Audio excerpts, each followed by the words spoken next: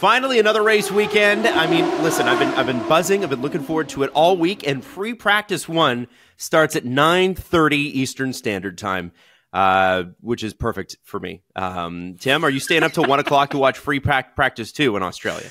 Yeah, yeah, I stay up, staying up for the whole thing, man. It's, I love it. You know, probably get to bed around uh, four a.m.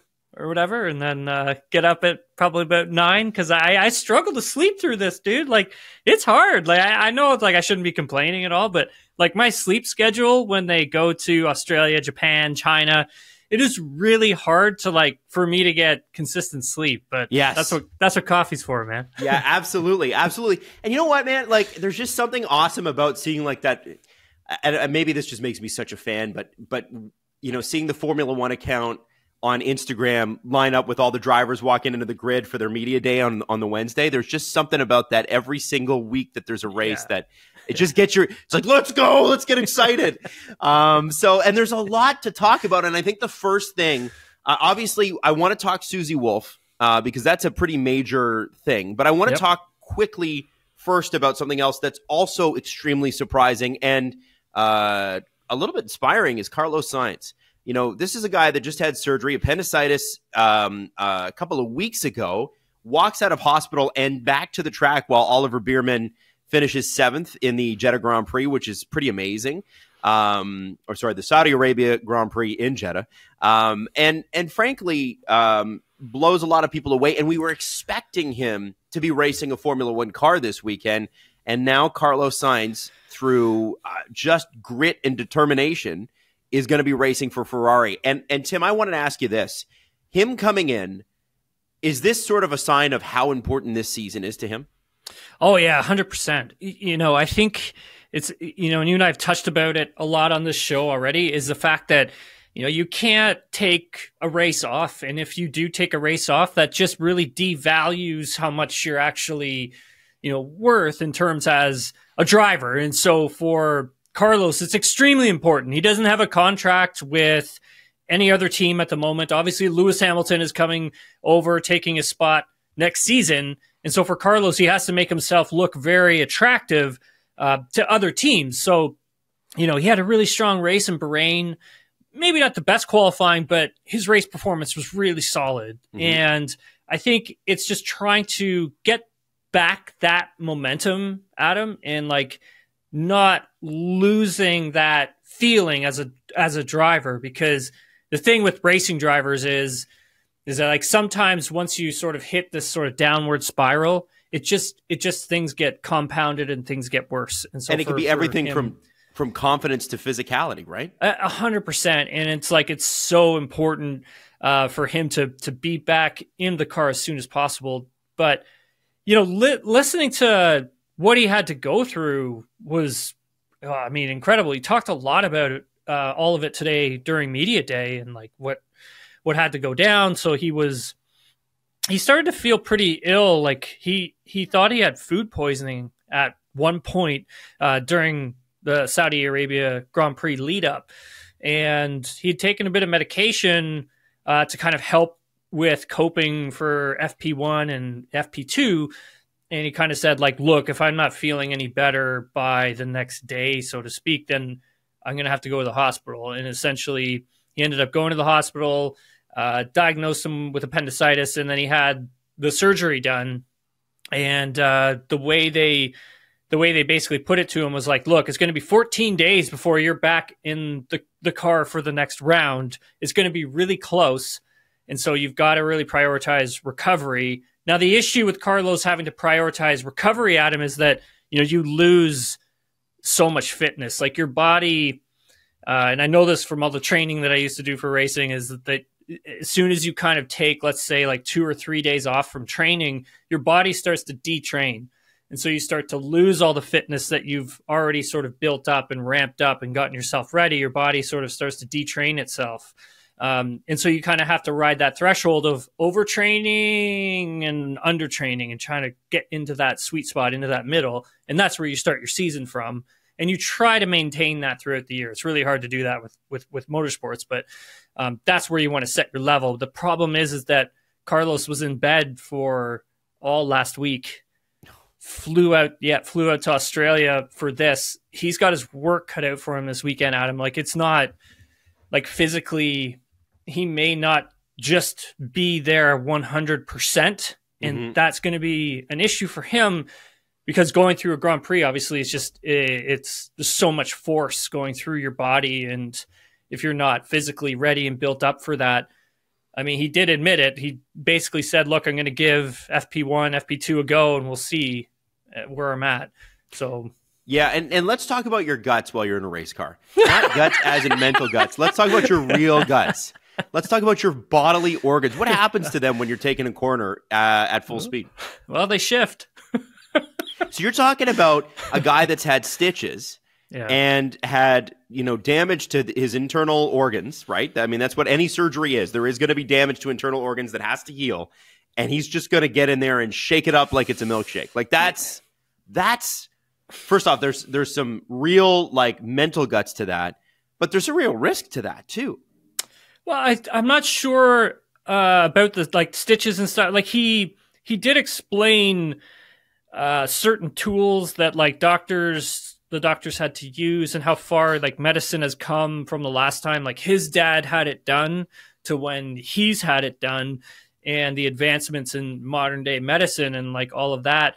And he said like it's really he said it was quite simple. He's like they take like three little tools and they sort of like place them inside of you and they sort of snip snip and, and away it goes and he said it's a very it's less invasive than even what it was two years ago. He said so, referring to like what Alex uh, Albon had to have done. Yeah, and so for I think for I think for Carlos, it's that's probably has helped him sort of recover and, and get back as fast as he has.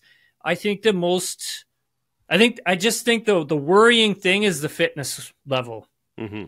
And how much of that is he has he lost? in like, you know, being in the race car for you know, whatever, 90 minutes, 80 minutes, you know, 80, 90 minutes is like beating and banging inside of that thing on a street course. Like it's, it's going to be, that's going to be really tough, man. I, and the, yeah, like you said, it's not a, it's not like Silverstone smooth meant to be for race cars. It's, this is a street yeah. course. Yeah. It's a great course. It's an awesome yep. course, but yep. it is, it's a street course and yep. There are, there are bumps, there are, are sharp edges. They have changed uh, the Grand Prix a little bit, right? Like the actual track layout. I saw. Yep. I was seeing you tweet about that. Yep. Um, what will that allow? Is that for more top speed?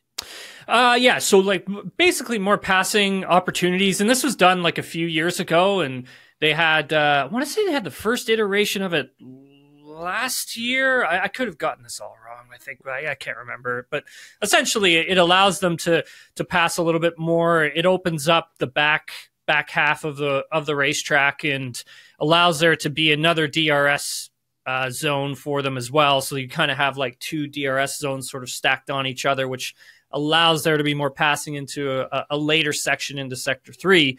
Um, but it, it's it was good racing last year. Like I mm-hmm. actually like I went back at him and I rewatched uh, the Australian Grand Prix from last year and I just forgot how like entertaining it was. Like you had George Russell yeah. in the lead at one point. You had Lewis Hamilton in the lead. You had Max trying to get by Lewis for the lead. That old sort of rivalry starting to heat up. You had a couple crashes at red flag things, and actually was a really good Grand Isn't that Prix. the race where the Alpines crashed into each other? Too? Yeah, you had Gasly Ocon taking like, each other out. Like it was good, man. I, I I think like sometimes Australia can offer up some snoozers, but sometimes it can really offer up like some really great racing.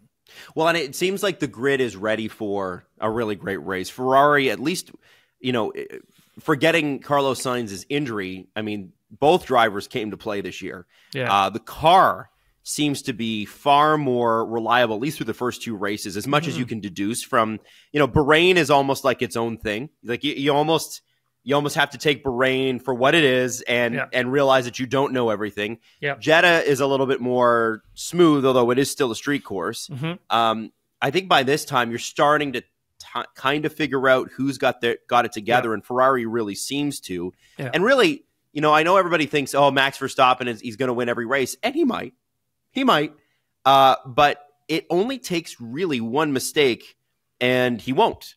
And I know that Red Bull has finished one two every race, uh, but we know we saw last year um, the struggles that Perez had at certain times. Uh, we saw Max struggle on one track, and guess what? Ferrari won. It feels like, at least with Charles Leclerc, not knowing Carlos Sainz's health, that he's he's just going to be sitting and waiting, sitting and waiting for them to screw up. Yeah, I think another thing, Adam, to add sort of on top of that is you're coming into this this weekend. A lot of folks I've spoken to, like in lead up to, you know, a lot of people feel that you know Red Bull will always be the favorite coming into every race this season, but there is another team that actually could possibly provide us with a little bit more excitement in terms of putting pressure on, on Red Bull. Some people feel that Ferrari could be the faster team here this weekend. Charles Leclerc himself, like he he still speaks of them understanding where their weaknesses are, what they need to do to get that back, but knowing that they could potentially fight Red Bull for race wins this season. He still has that um, belief where a lot of the other drivers are pretty open and honest about like, hey, look, like, like, We like, like problems, Lewis. yeah. I think like Lewis today was like, hey, like, look, Red Bull's in a league of their own, and we're not catching up to that. Yeah. But like for Ferrari, like even I think Lewis felt that Ferrari could probably uh, catch and put some a lot of pressure on Red Bull this season, and I feel that way too because we still don't exactly know Adam where Red Bull's like data point is. We don't know how much their advantage actually is because of the first two races are, you know, they're so different. So we don't really know what that advantage is. Leclerc had said three to four tenths in an interview that he did. That's that's not as as as bad as it was last year. Oh, So- no question. No question. You know, people forget that there were no guarantees that Max was going to win his second title in a row the way Ferrari looked two years ago. Like, Yeah. you think about Ferrari in Australia in 2022, Yeah, good point. like, they were, I mean, that Yeah, team started better. Yeah, For sure, started better. yeah, yeah. And then it a good was- point. It was, you know, it was the strategic screw ups that cost Mattia Binotto his job. But frankly, that was a really, really good car and a really Yeah. good team. Um, and I, I'm looking at the, um, I'm looking at the race, and I, I obviously get so hyped up for this. There is a really good fight for third place already. Um, you know, if if the if Red Bull is going to be one, the the excitement around Red Bull being one is when they're not number one. Is Yeah. when Ferrari comes in and steals a race. The fight between Mercedes and McLaren, which uses a Mercedes engine, uh, is also really exciting. There's a two point separation between them already. Uh, McLaren passed Mercedes uh, last week. It's only two races in. Um, you know, Lando, as honest as he always is, uh, was t- saying that you know there's some things that they wish they'd progressed a little further on with the car. Obviously, we know there's some rear wing stuff that they got to work on. But that battle, if you're a real Formula One fan, that's going to be a really exciting one from two pretty epic teams. Oh yeah, yeah. I think like I was uh I was sitting. When was it? I think it might have been yesterday. I was thinking about it. I'm like, you know, the same thing as last year. You know, if you just remove Red Bull from the equation, like that, that battle for the remaining spots is like very interesting Yeah. and very entertaining as well. Um, I just think with this year we have we have like two teams that are sort of out out front a bit, and then Mhm. we've got a stack of like three teams, Yeah, which would be McLaren, Mercedes, and and Aston- and um, Aston Martin. and then we got a stack of a whole bunch of other teams just completely together. Mhm. And then you kind of got sort of Alpine just hanging on at the back end. Yeah. Uh, and obviously their issues are they're minuscule, but all that adds up. Uh, and that's kind of like where we're at right now. But by the time we get to like the European leg and you know, we get to like round seven, eight, nine, ten, like we're gonna start to see these cars upgraded, come to life, and you know that's to close things up even more. Like if you look at the RB, like they have a huge upgrade. I'm told that's coming, like in races time, like a huge one that's to make a ton of difference. And so like we've seen already, you know, teams do this or uh, in, in this regulation. We've seen two of them. Seen Aston Martin in 2022. We've seen McLaren in 2023. McLaren plus others. You saw Ferrari start to catch up to Red Bull last season. You saw Mercedes take I don't know how they did it with the car that they had. Yeah. Close that gap and then get uh, P two in the in the constructors. So Mhm. like th- it, it will happen with upgrades that start to come, teams just need to figure out where they're at. Right. Right. And and that's I mean that's going to be the fun part about this course is I feel like this is where and I know it used to be the start of the season, so it's it's there's a little bit of that going on, but this is where yeah. I feel like you can really start to track the data. Yeah. We start to really see how the first if you divide the seasons into into thirds, um, how the first third of the season is going to look before all the upgrades come in, race seven, race eight, that sort of thing. Yeah, and exactly. um, and and on the Racing Bulls thing, since you brought it up, I wasn't going to bring it up till later. You know, the the uh, obviously we talked about in the last episode how you know Daniel Ricciardo is is really like he hasn't had great results in Australia. He had one with McLaren and and you know one DNF with with Renault. He's had some like a couple of good ones. Never got a podium. Um, there's got to be a lot of pressure. There's going to be a lot of media. Uh, probably helps the Piastris on the grid to kind of even some of that out. Um, but he's Daniel Ricciardo. Uh, this Racing Bulls team, they can't be thrilled with the start. I wouldn't think. I think yeah. that they would probably see themselves at the top. Do you think that they're going to be able to compete with Haas and Williams before that upgrade comes? It'll be close. I'll say that. Like it's going to be tight. Like that that sort of battle there between that Williams Haas. I can't believe I'm saying that. I know. And, and, I know. In, RB, you know that that's an, an interesting one, and then you've kind of got that the Sauber just underneath trying to close that gap as well, and then you've got Alpine below them. It is extremely tight through through those teams, extremely close. I think that RB may have been expecting to be a little bit more competitive than mm-hmm. what they started off with. And I think a lot of that has to do with understanding what they have in terms of the new car.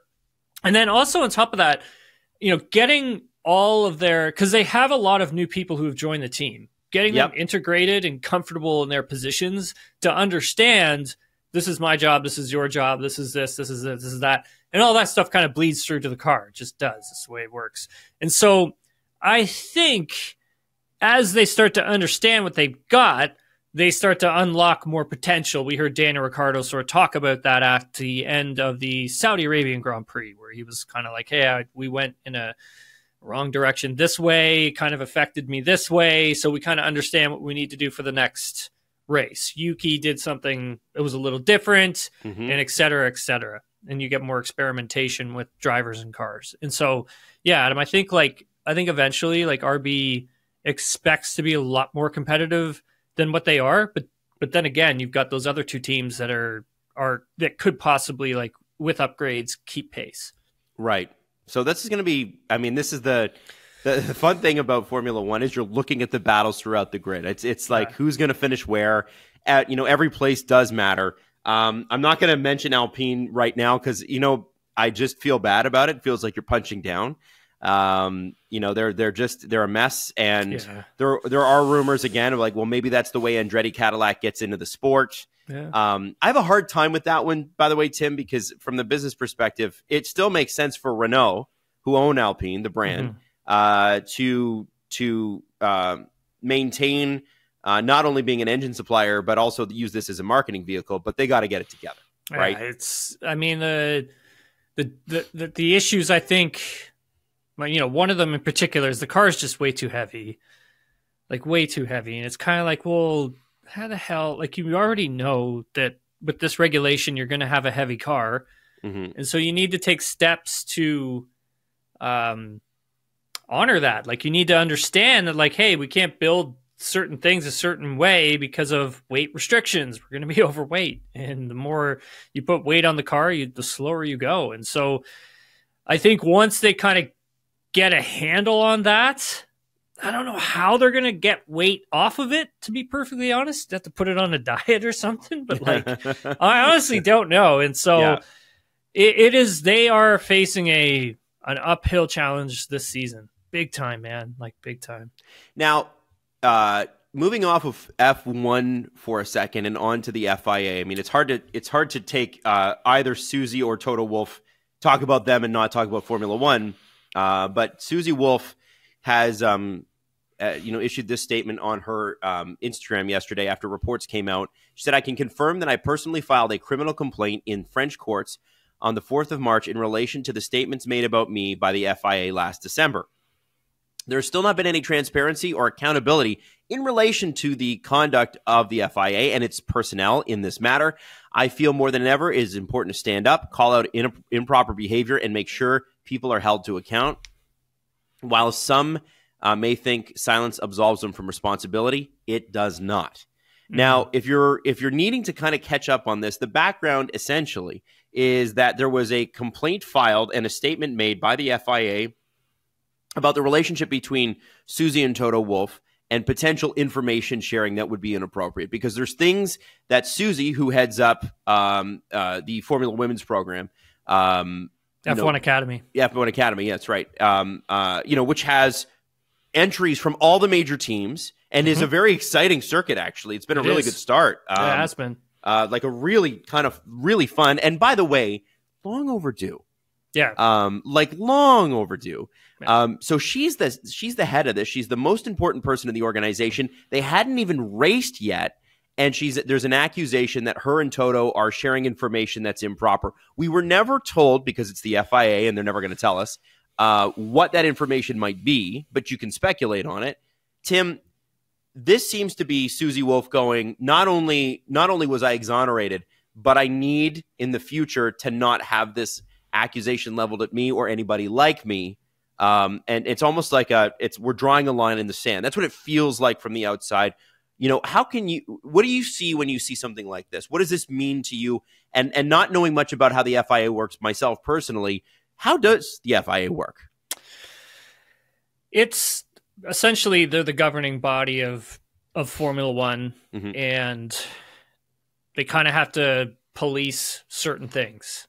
Mm-hmm. And I think in you know in this particular case, it was a conflict. It was a, if I remember correctly, it was like a conflict of interest inquiry that was done with uh, her and husband Toto Wolff, and uh, information sharing. I wasn't sure if it was between teams or team principals, but essentially, at the end of all of this, you had all nine teams 10, including Mercedes, come out and issue statements that basically them saying they've never once heard of any of this and they're we were they're all very confused like everyone else was really confused with it when we got it i believe mm-hmm. it was in in december when uh, we had received the messages from the fia she is within her rights to do this and like i think at the end of the day it's kind of like look is enough is enough mm-hmm. and let's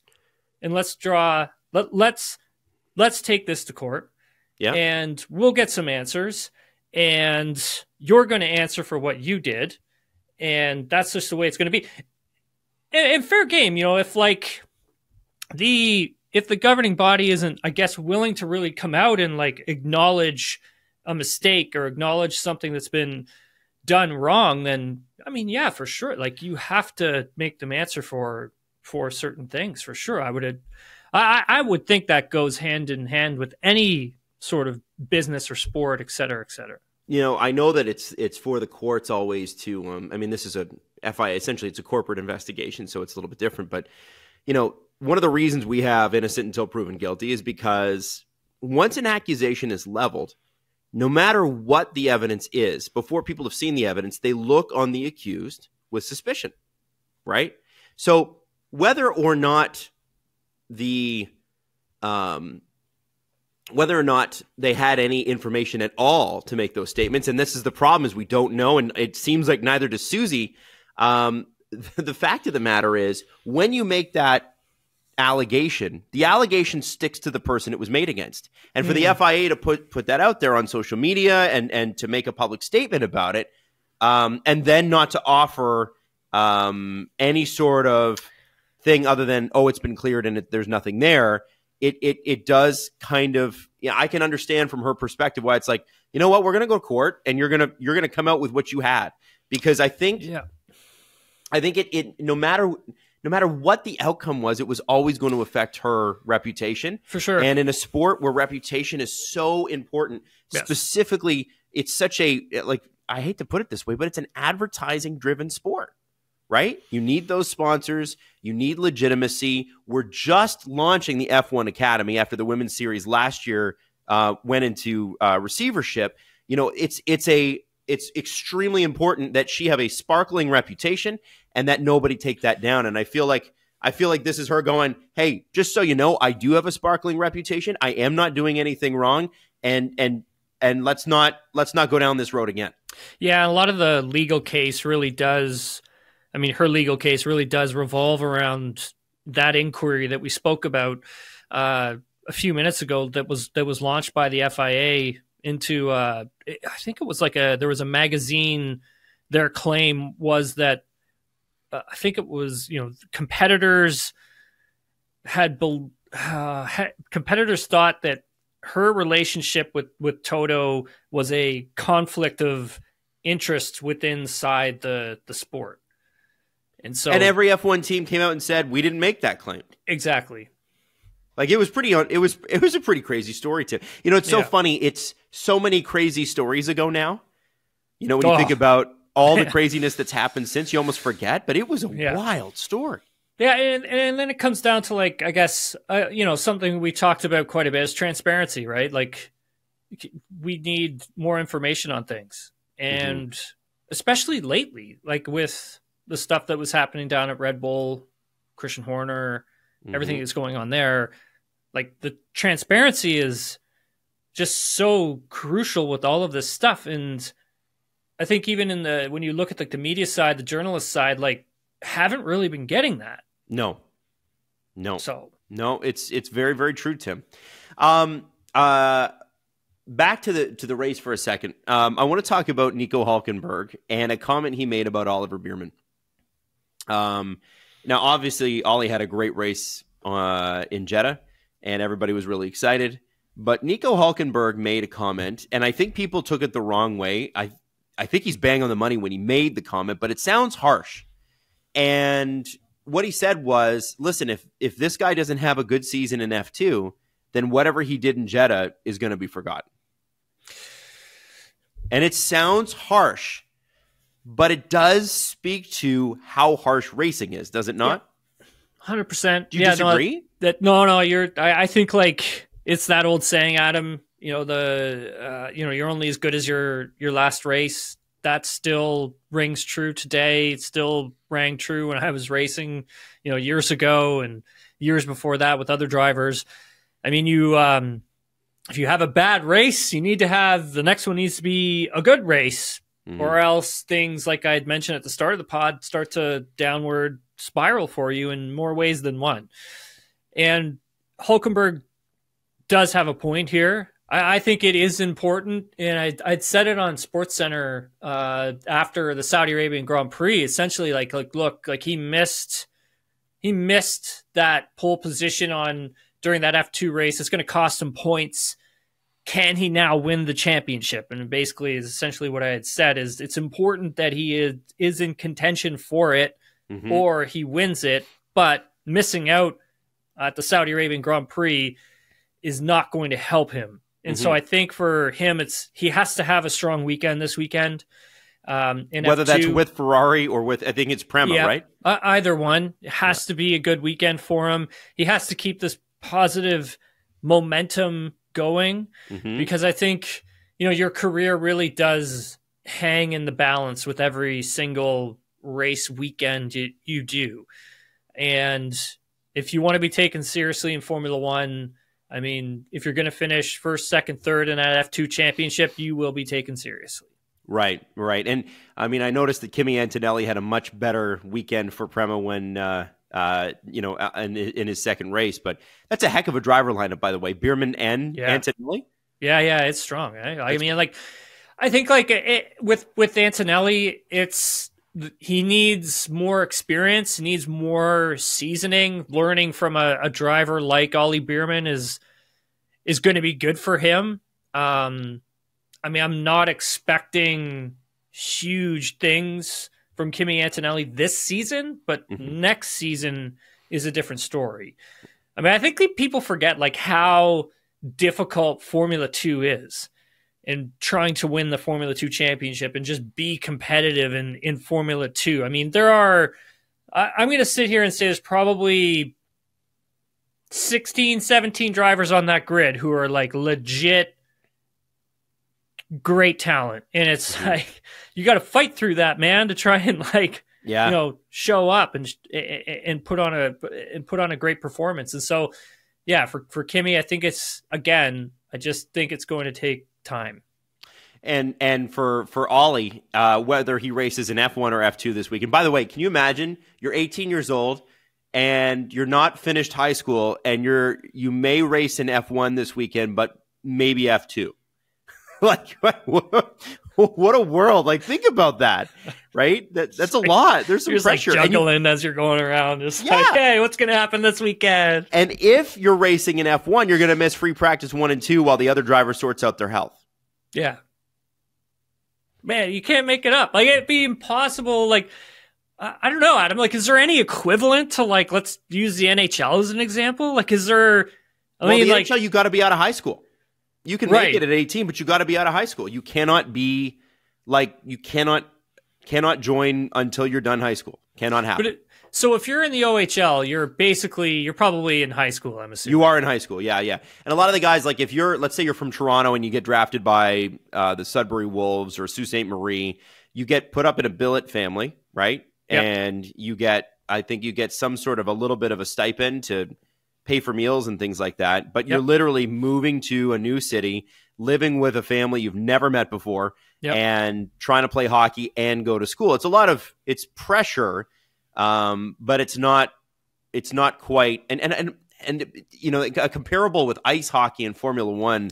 As much as ice hockey is a bigger um, is a bigger money revenue thing because they've got a bigger overall business in North America. Like you know, uh, revenue for the NHL is like six point two billion. I think for Formula One it's three and a half billion, but it's that's that's just Formula One, the body. That doesn't mean the teams.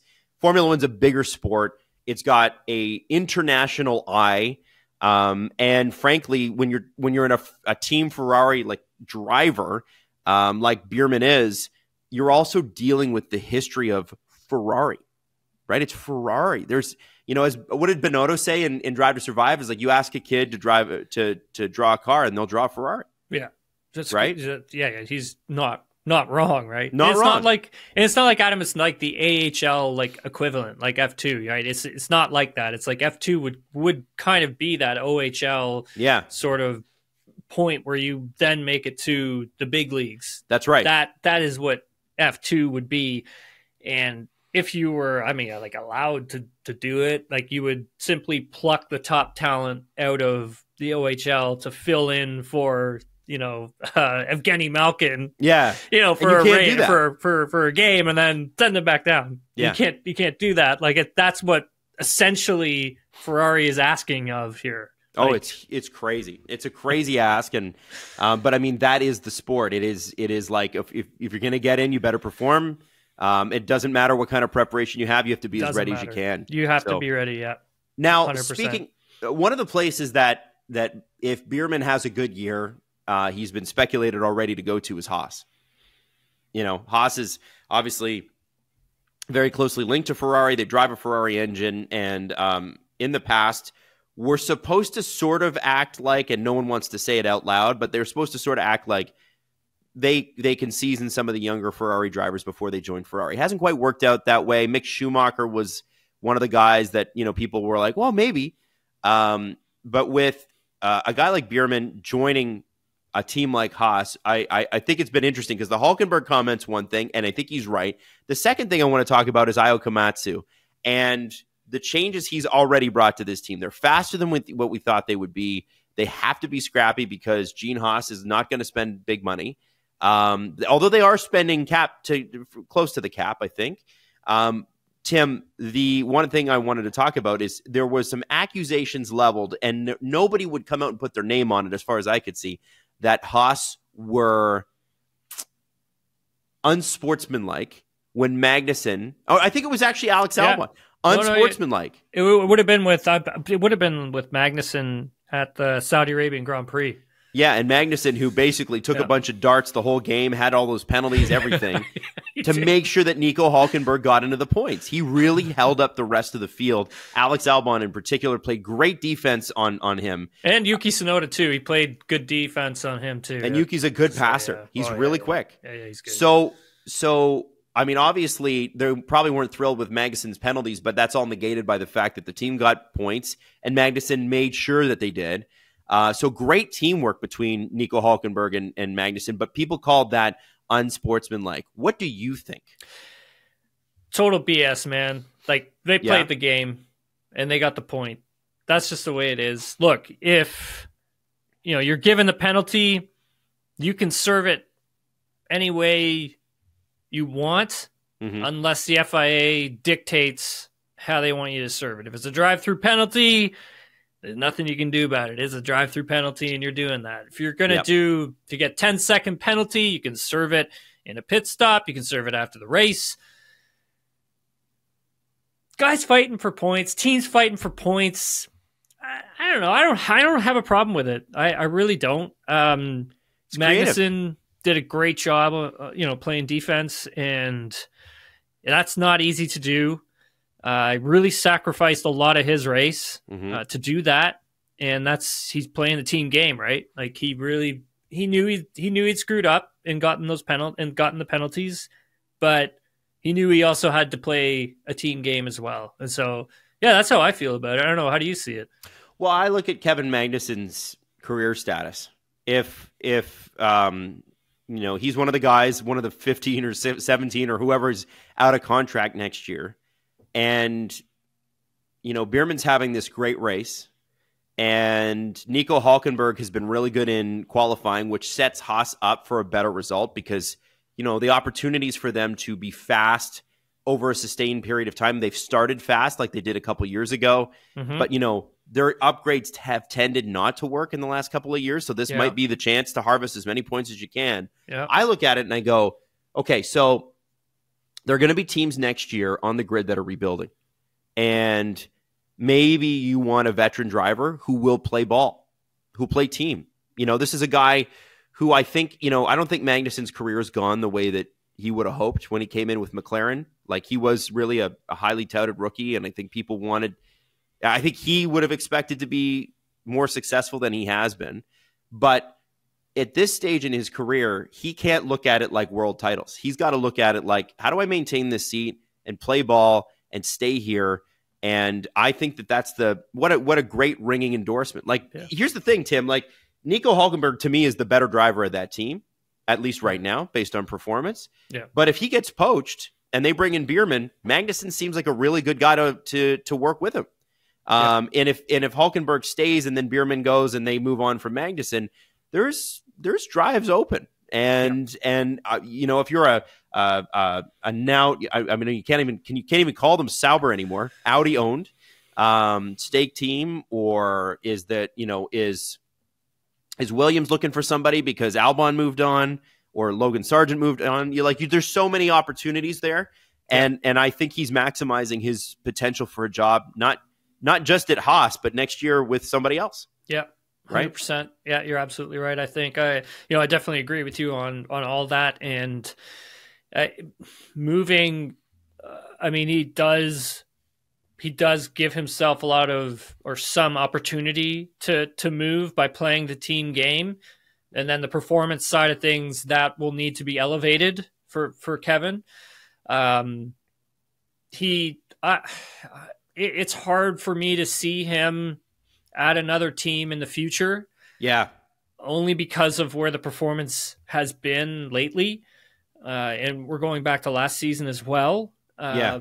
where Hulkenberg just outperformed him yeah, that too, and trying to just get trying to get the grips with uh, the race car and figure out what he needs to extract the performance from it. And like I think, like he's a great racing driver. Don't get me wrong here. So it's kind of like the more he can show that he has a lot of value left in him, playing the team game is important. Scoring a point is important and beating your teammate is important. If he can start checking two of those other things off that off that list, you know, he may find himself being able to convince a team that's further down the grid to to keep him around in Formula One. I think for me, Tim, the the thing with Kevin Magnussen, and this goes in for Daniel Ricciardo too, the the unforced errors, the brain farts mm. per race. It's got to come down, right? There are mistakes that sometimes, and these nobody's denying the talent of either of them. They're the top twenty drivers in the world, mm-hmm. right? But if you make mistakes like Magnussen made, if you make mistakes like Ricciardo may, made, and and I I know that you've you said like they were trying to figure out some issues with the Ricciardo car. I get it, totally understand. If those guys can bring those mistakes down, just that will gain them two or three more positions every race. All right. Yep. Right. Yeah. Yeah. Hundred percent. And I'm sure Haas loved Nico Hulkenberg getting points, but what if they could have had both drivers challenging for points? They would have liked that a lot more. That would have been huge for them. It's such a it's such a, a log jam trying to get that final point mm-hmm. right right now. I mean, you've got five teams, all of those drivers capable of scoring points. And so if you're going to be that one team that's just sniffing at that 10th spot mm-hmm. in case a mistake happens from the other 10 drivers, then, you know, you want to be in position to capitalize on that. And that you know that's pretty much what Haas did on on uh, uh, uh, last two Saturdays ago. I'm I'm looking at it too. If I'm Ayao Komatsu, you know, race strategist extraordinaire before and now team principal, Williams to me, their big weakness is, and it's not because he's a bad driver, he's Logan Sargeant. It's because he's a newer driver. And it's because he's figuring it out. I'm not saying that his pace is bad. His results haven't been there like in the way that they that Williams needs, especially with the performance of that car.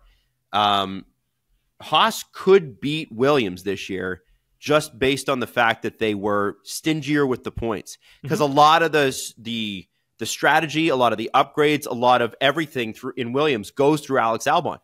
So if if you know even if Albon scores double the points of the other two drivers, Haas could still beat them in the drivers, and that's worth tens of millions of dollars. Yeah, really constructors. Important. Yeah, constructors for sure. Like, I mean, it, I think for for Williams, it's trying to understand this new aero direction they've gone in, this new mm-hmm. platform that they developed for for this year, because it is such a big turn from what they've been working with for the past two seasons, and so mm-hmm. to make a drastic change like that takes time to figure out what what it needs what does the driver need to do with it to get that performance out of it? Mm-hmm. I think you know, I think the car may be a little bit overweight. Again, another one of those cars that is just a little bit overweight. And I think, you know, that costs you time for sure. And so trying to sort that out is important.